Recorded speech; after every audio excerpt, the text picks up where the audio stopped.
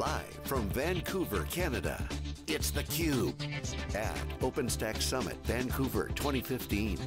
Brought to you by headline sponsors EMC and jointly by Red Hat and Cisco.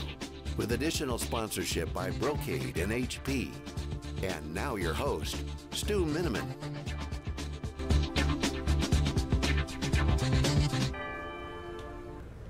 Welcome back to theCUBE. I'm Stu Miniman with Wikibon.com. Here with SiliconANGLE TV's feature program out at the OpenStack Summit in Vancouver for 2015. Joining me for this segment, uh, we're joined with uh, Radhesh Balakrishnan, who's the General Manager Hi of there. OpenStack at Red Hat. Welcome back to the program. My pleasure. All right, and we've got Mike Cohen, who's the Director of Product Management with Cisco. Uh, Mike, welcome to the program. Thanks. All right, guys. So uh, you know, OpenStack. It's every six months we get together, uh, talk about what's going on. To, you know, talking about the maturity of the products. Um, you know, two companies that you know been in industry, helped drive IT forward for years. Uh, Radhesh, is, you know, you, you've got OpenStack in your title. What, what, what's your take on the show so far? Uh, and you know, what, what's the state of OpenStack? It's a great place. You know, par for the course is what I would characterize it as. As you rightly called out, the maturity of the product and set of ecosystem around it has really come through in the last couple of years, if you will. We're also, from our vantage point, seeing real customers deploying it in production um, across both enterprise as well as telco. And clearly partnerships such as uh, one we have with Cisco, which is across multiple divisions. We're, we're going to focus on ACI in today's discussion, but we are very, very excited about the fact that the number one provider of gear for cloud out there, as well as the number one open source uh, software provider, that's us, are getting together to address a challenge and an opportunity. All right, so, so, so Mike, uh, you know, Cisco's had a good presence in this community. Uh, one, one of my favorite interviews from last year was actually Lew Tucker talking about how open source is really, uh, you know, trying to, you know, work its way inside of many parts of Cisco. Uh, t- talk a little bit about, you know, where things are with OpenStack and Cisco. Sure, absolutely. So Cisco is a major contributor to OpenStack, and honestly, doing upstream contribution is one of our, you know, the primary focuses of, of a number of our groups. Um, you know, including mine on the application-centric infrastructure side. Uh, you know, really our goal is to, you know, partially enable enable us to sell some of our products and switches and servers, et cetera, but also make the community better and make OpenStack better so that we can help our customers build larger deployments and actually accelerate adoption of the platform, which also helps us from a business perspective too. All right, so I, I, I love both of you talked about the customers in the first segment, which is really our maturity uh, of the environment. Is you know what are customers doing? What are they asking for, and how are they doing it? Like if, I- if I could start with you, I mean, you talk about things like you know your servers and your switches and everything. How much is OpenStack part of the conversation today from the user base? Sure. So actually, OpenStack's becoming an, a really major part of the conversation, and I think uh, you know if you go back say, two years, that wasn't as much the case. But now we're really seeing it as you know really a primary ask in almost every one of our major accounts. That everyone is building an OpenStack cloud, and they're actually looking for a really stable environment, uh, you know, on, on which to do that. Um, and one of the things we did with our ACI product was actually build um, essentially an SDN solution that was designed around policy to accelerate application perform, uh, you know, deployment and you know, do it in a performant way, in a very scalable way that can actually act as a backend for platforms like OpenStack.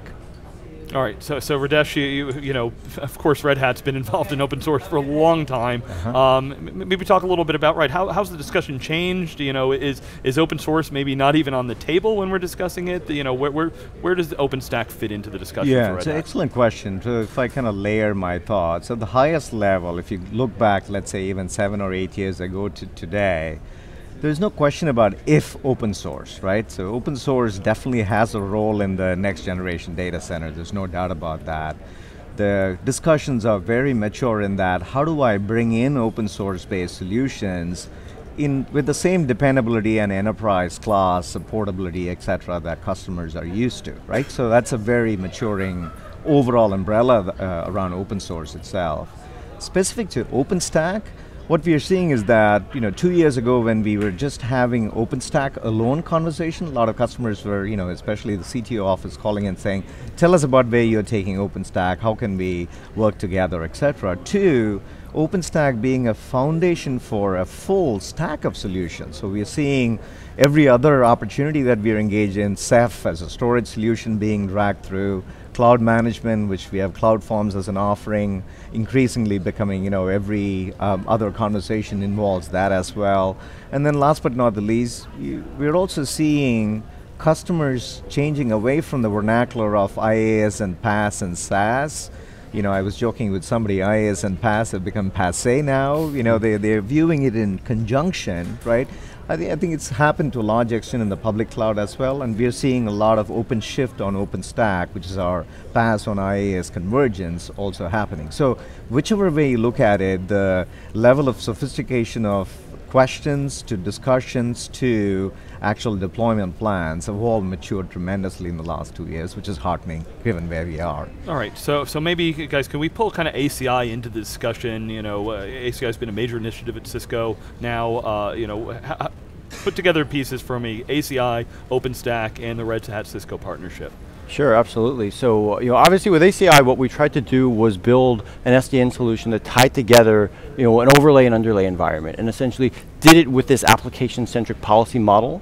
You know, one where you could actually use policy to describe your applications and deploy them in an accelerated manner um, which actually acts as an excellent backend for an OpenStack environment, where I actually want to build a cloud and I want to be able to place VMs anywhere and deploy applications incredibly quickly. We're seeing a lot of exciting new projects come on to, to enable that kind of development. And ACI can actually act as the backend across all, across all those systems. Um, and Red Hat actually becomes a critical partner here because honestly, when, when we go to, to market at Cisco, we're bringing our ACI solution. We need to partner with essentially a company that can offer enterprise, uh, you know, enterprise class creative OpenStack that our customers can deploy and stand up and actually achieve the application environment that they need. All right, so so Radhesh, you know we, we know, Cisco does their great CVDs to help yep. put together the solution. What's yep. Red Hat doing uh, to, to, help bake out the solution, make it easier for customers? Yeah, we're definitely working on CVDs, etc. Yeah. Before we went there, kind of back to your question about how do we see the yeah. solutions coming together for customers. If you look at a classical OpenStack evaluation, a key pain area that customers surface is around networking in general, right? So clearly, uh, that highlights the fact that a lot can be done in terms of making things better. Another reality also is that all the infrastructure um, uh, constituents, even within any large organization, is now realizing that developers are becoming the king. Application centricity is a reality that's in front of all of us. So you tie these two dots, ACI fits in nicely because it takes you know, the complexity from the hardware layer to an application-driven, um, um, uh, application-centric, policy-driven framework, right? So that's why there's natural synergy in terms of our solutions coming together to be able to address customers' problems.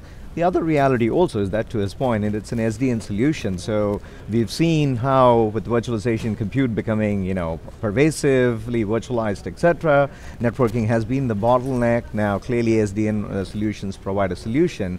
So if you can address that challenge as well as make it application centric, that's an amazing place for customers to get to. So that's how we see the synergy. Now back to your question about what are we delivering in the market to help our customers? Of course, we are doing the joint development of the solutions itself so that, you know, you know, reeling, wheeling the equipment or the software into a customer environment, they're not testing it for the first time. It's a certified, pre-tested solution from both the parties. The second is creating artifacts such as CVD, et cetera, so that the deployment can be very predictable, et cetera. So all the things you would classically expect around align, go-to-market are what we're doing.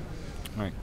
Something you want to follow up on that? No, I was no. going to say well, you know, one of the other areas we're actually working together with Red Hat on, and I think we add a lot of value, is on the operations side. So, you know, one of the areas, you know, OpenStack's done a great job at you know building a you know a cloud environment, and I think one of the areas where Red Hat adds value and where we're adding value with ACI is actually making the whole thing operational and allowing essentially all of the, the operational infrastructure teams to manage the cloud and actually understand what to do when something goes wrong. And you, you, this is where vendors like us can actually add a lot of value into these environments. Yeah, actually, I, I loved in the keynote this morning, Mark Collier said, you know, what do we call OpenStack? Because, you know, is it a product? Is it a cloud? Is it there? And he said, you know, we're an integration engine.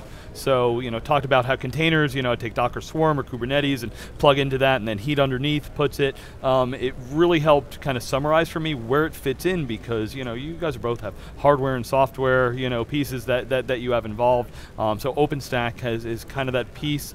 Um, yeah, I, I, guess any comments on that?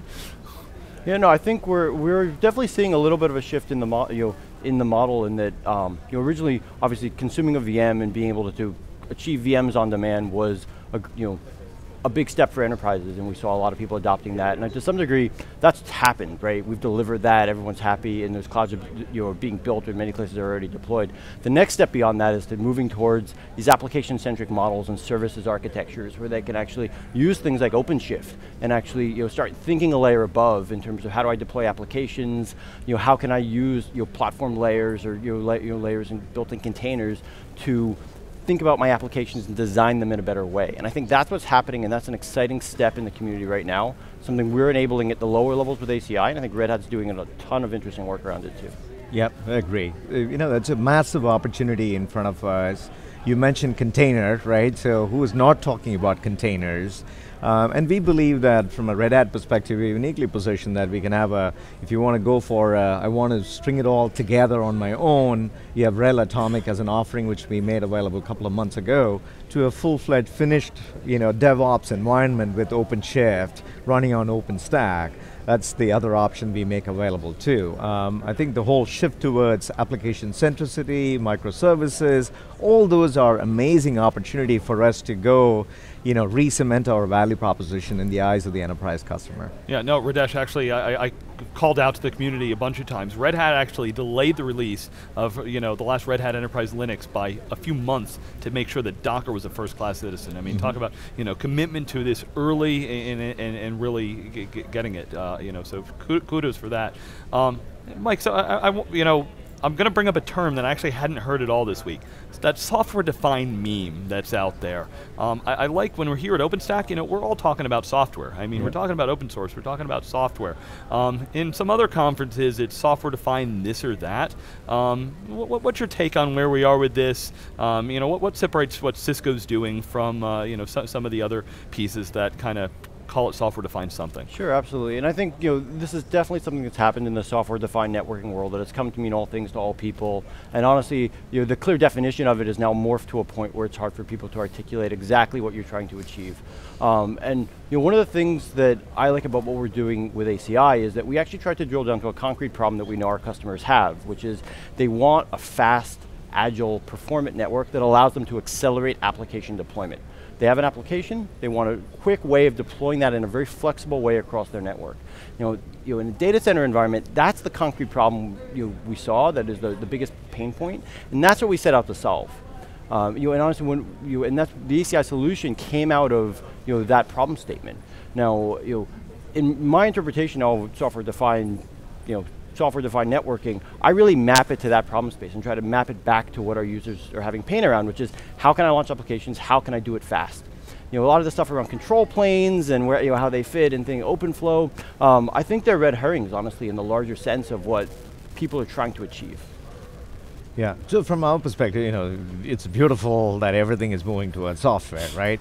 But, you know, clearly, as the examples he pointed out, we have to be able to, you know, leverage all the assets that are the hardware layer as well intelligently. It doesn't mean that everything becomes commoditized at that layer too. So that's where I think partnerships such as one we have with Cisco in, we talked about ACI a lot. The same applies to UCS, for example, or how the intercloud offering of Cisco itself is going to be structured, et cetera, right? So I think the, the BC is a huge opportunity. There's a tectonic shift. Everybody is acknowledging that. Open source has a much more prominent role to play, and our belief is that by betting the farm in conjunction with you know broader shoulders such as Cisco, we can reach broader set of masses and deliver on the promise of software-defined anything, right? Yeah, so, so, so Radhesh, you know, it, it, it's got to be funny being at Red Hat in a time like this, right? It's like, wait, it's a software-based, it's open source. Yeah. Um, you know, we've talked to a lot of people, it's like, how do you monetize something like this? Yeah. Um, it really comes back to, you know, you know, why is Red Hat, you know, positioned to really take this opportunity of OpenStack and, and help bring it to the masses? Right. Yeah, so, you know, from our uh, monetization model has always been subscription-based. So, you know, let's take the case of OpenStack. Every six months there is an upstream release. What we do is we take about a couple of months to enterprise harden it. That includes bug fixes, which are obvious, but also backporting features, because at any point in time, we are working towards the next release as well. And then the third one is we have deep product management level engagement with customers and telcos and service providers, et cetera, that makes it into upstream as well. As you um, already know, we don't do anything which is shadow code trade, right? Everything we do is upstream first. So it's these value elements that customers get by going for a subscription of uh, um, RHEL OpenStack platform, which is our offering. Um, one point worth highlighting is that one of the conscious choices we made is to architect our OpenStack offering with our Red Hat Enterprise Linux offering. Um, and people ask why. Uh, that has to primarily do with the fact that if you want a functionality set for standing up a cloud and have a lifecycle thereof, you need to engineer the components together, KVM layer, the operating system layer, and OpenStack. So we've seen that both from a rearview mirror of where the support calls are coming, as well as forward-looking feature innovation, etc. Our ability to influence all these three layers and package it together is valued by our customers as well. All right, so uh, we're running low in time. Mike, uh, I want to start with you. Uh, you know, final thoughts. You know, either something cool you've seen at the show, or something that you know Cisco's helping to kind of stand out from the crowd that, that you'd want to point out. Sure. So one of the things I would call out, um, you know, that we're working on, and we're working on conjunction with Red Hat, is group-based policy. So this is one of the ideas we're driving forward, where we've taken some of the ideas that had a genesis with ACI where we were thinking about different ways of describing policy. We're actually making that into um, a project that we can run on top of OpenStack with any network backend, not just with our solution. And you know, part of the idea there is to actually bring these ideas of thinking about applications differently and tying them together in terms of services um, and make it easier to use for the entire community. All right, Radhesh, same question to you. So, from my perspective, the fact that the show is becoming more boring and enterprisey, I love it, right? Weirdly, because you know that's what we, that's the set of customers that we engage with. That's the customer mindset we understand as well. And to some of the points that we were talking about earlier, I think it has reached a stage where you know the crossing the chasm moment has already happened. Uh, it's gotten beyond the innovators in, in, the, in, terms of early adopters, in terms of adoption. It's becoming more mainstream. So to be able to have all these rich set of conversations with partners as well as customers to help shape the next version of OpenStack, that's an amazing place to be in. So, you know, my twice a year pilgrimage, check mark, happy customer. All right, well, gentlemen, thank you so much for sharing with us you know, the customer stories, the partnership that you're growing, and the efforts uh, going on OpenStack. We've got lots more coverage here from theCUBE over the next day and a half.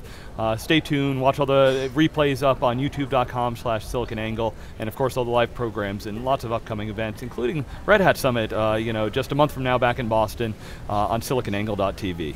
Thank you very much.